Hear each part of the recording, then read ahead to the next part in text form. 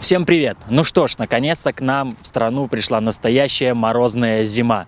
Но это замечательный повод, чтобы ребята после школы пришли погулять по льду, ну и, естественно, рыбакам половить рыбу. А давайте-ка мы сейчас проверим, знают ли они правила поведения на льду. Погнали!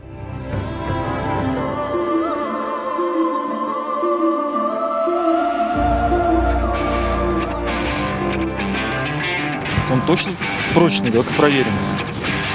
Вроде нормально, Андрюх. А, погнали.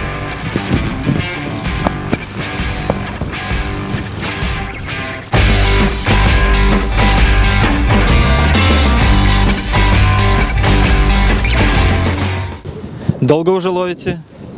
Да, с утра уже. А так, опыт рыбака большой уже.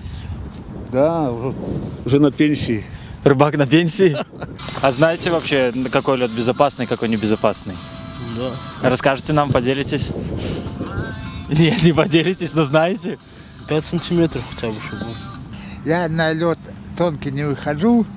Ага. 20 сантиметров 15 есть. Вы уже чтоб наверняка. Наверняка, да. Скажите, а опыт ваш помогает определить правильную толщину льда? Ну, с берега подошел, просверлил, посмотрел, как лед, и дальше можно идти. Прочный? Да. Ну, по цвету. Ну, смы- э, по если. цвету. Но если темный лед уже, он не прочный.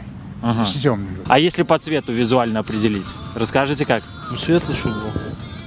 Светлый? А на какой нельзя? Какого цвета? На темный. Ну, вот вы, допустим, как профессиональный рыбак уже, на какой бы вы лед не пошли? На темный.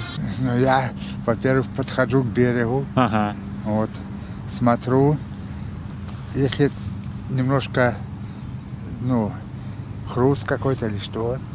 я- Все, я собираюсь и я- домой. Я, домой, да. А проваливались когда-нибудь? Да, И, и сами выбирались? друг помог. Но там не глубоко было, но дно было такое илистое, Ага. около берега. Лед вроде нормальный, там течение и колокустика снежком придуло. Вы не обратили внимания, так получилось. Думаю, там, где снежок получше будет, там оказалось вообще не замерзшее. А, вот как. А как друг вас спасал? Чем доставал? Ну, я буром поперся на лед, лед не ломался, Ага. пришел, куст рядом был. До берега, вот до столько до берега было, никогда не думал, что можно провалиться. Понятно. И он вам подал ветку и вытянул. Да, он подошел, вытащил.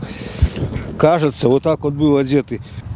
Первые две секунды еще можно подняться на руках, а потом секунд за 10 все, намокло уже не подняться, не Сильно повернуться. замерзли? Да не очень-то. Может, от испуга или чего. Адреналин. Скажите, а под мухой на льду нормально? Можно половить? Нет? Не балуетесь таким? Нежелательно. Нежелательно? А если холодно? И все равно. Чаек. Чаек. Кофе. А э, так вообще на рыбалке замерзаете? Мерзнут рыбаки? Руки, ноги? Ну, когда большой мороз, надо рукавицы хорошие и теплые ноги, чтобы было. А чем согреваетесь? Да, я не знаю. Не? Не, я Не. на машине езжу, так не очень. А, чаек лучше. Да, когда мороз выпьешь, что хуже холоднее тогда. Еще холоднее становится? Да, вначале выпьешь. Душа рум- греет, Да, ноги рюмки мерзнут. две-три выпьешь, кажется тепло, а потом холодно и можно вообще замерзнуть. Здрасте, ну что, клюет? Ну так, пока еще собирается клевать. Скажите, а вы знаете, что нужно делать, если человек провалился под лед? Ну, знаю, знаю. Ну, расскажите. Ну, нужно найти подходящее длинное средство, например, палку на берегу. Можно использовать мой бур, связать какие-то мои вещи, Ага. подползти аккуратно к полыне, подать пострадавшему, ни в коем случае не вставать. И тем же путем, не вставая возле полыни, отползти и обратно возвращаться по тому же пути. Подведем итог. И для того, чтобы... Так, что-то хрустит. Андрюха, валим, валим отсюда.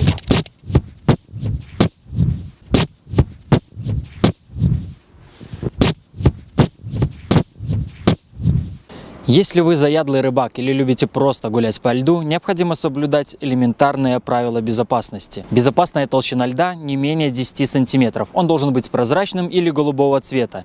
Не выходите на лед в устьях рек и в местах произрастания растительности. Если вы провалились под лед, соблюдайте следующие правила. Не паникуйте, стабилизируйте дыхание, расставьте руки в стороны и попробуйте зацепить за кромку льда. Если лед вас выдержал, то забросьте сначала одну ногу, затем другую. Ползите в сторону, откуда вы пришли, ведь там лед крепкий, он уже проверен. Соблюдайте правила безопасности, берегите себя и своих близких.